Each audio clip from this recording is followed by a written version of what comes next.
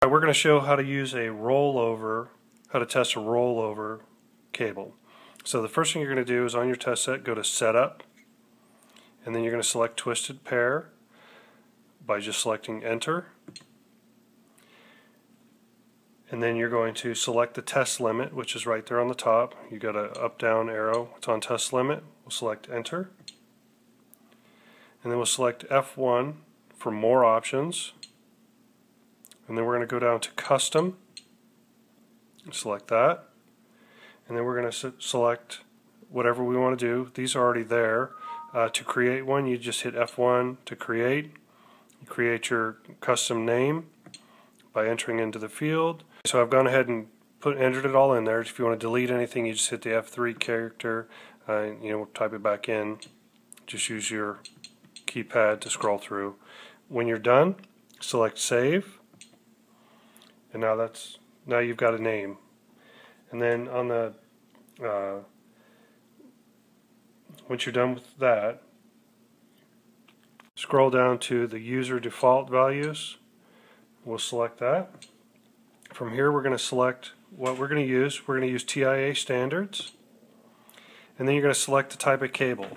TIA permalink is actually when you're going to the adapter where it has uh, plugins for uh, hardwired panels.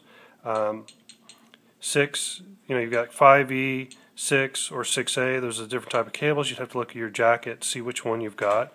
Um, we're going to use channel, which is actually uh, one that's factory wired with RJ45s at both ends. So we'll go ahead and select that.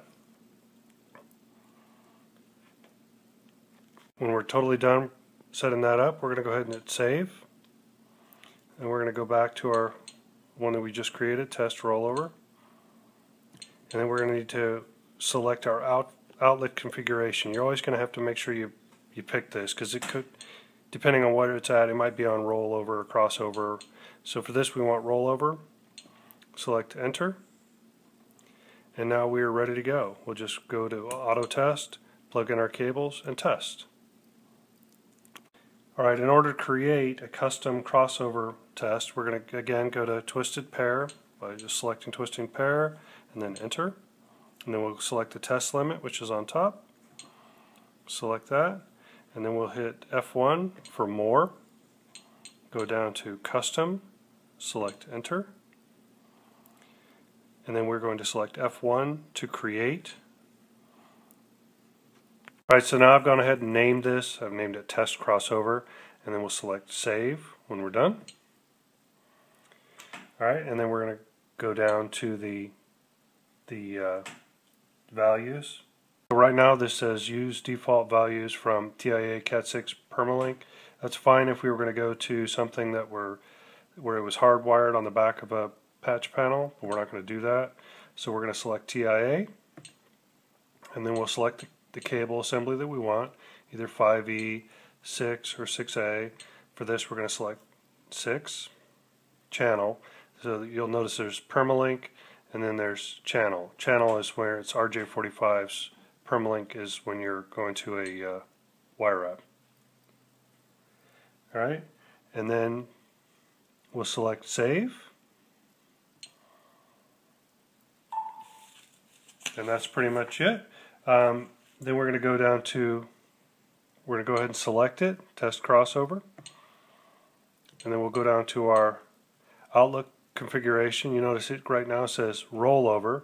So we're going to go ahead and hit enter, select that, and then we'll go to crossover, or if you wanted 1000 base T crossover, whatever you you needed.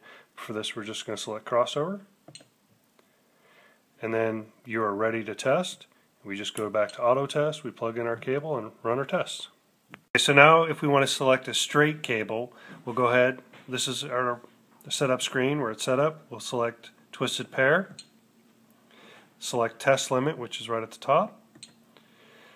And then we'll go down, we'll select, we'll say we're going to use TIA Cat6 channel, we'll select that. And then it's going to ask UTP, FTP, SSTP. Uh, UTP is unshielded twisted pair.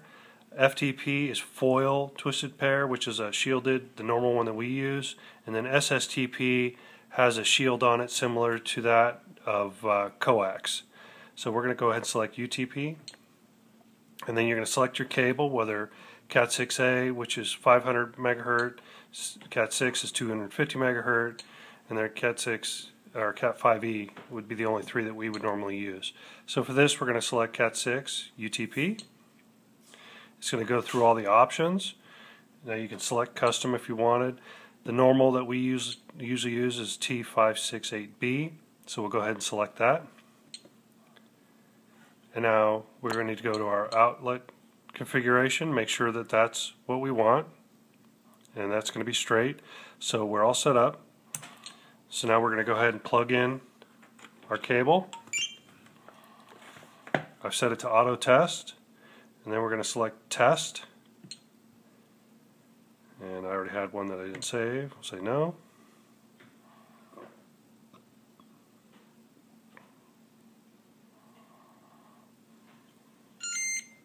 And it will run through our test. When you're all done with your test you're going to go ahead and hit save and then you're going to be able to enter in whatever you wanted to. We'll say this is 0 9 zero zero nine nine dot zero oops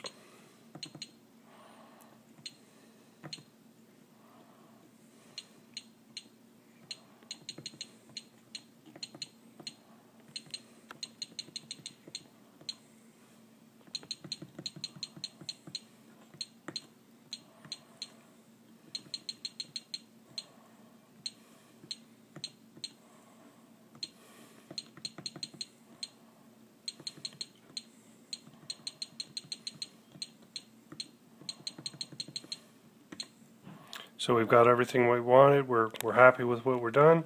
We just hit save.